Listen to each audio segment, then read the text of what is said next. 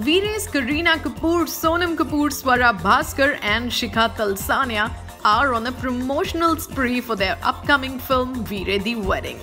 The stars were recently spotted in Delhi, where they grooved to their blockbuster song Tareefan. The actresses looked pretty in party attires. Kareena and Sonam rocked the chic look in black and baby pink dresses, while Swara and Shikha kept it formal. The Veere fever is rising by the day. What do you think? Let us know in the comment sections below.